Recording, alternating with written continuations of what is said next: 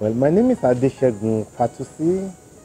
I am an alumnus of uh, the IMPH program of the Hebrew University in Hadassah, Jerusalem, Israel.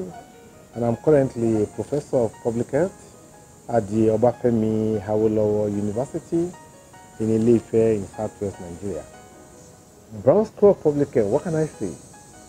Fantastic place. Um, I'm ever so proud, ever so proud, and I feel ever so privileged to have been a part of the Braun School family.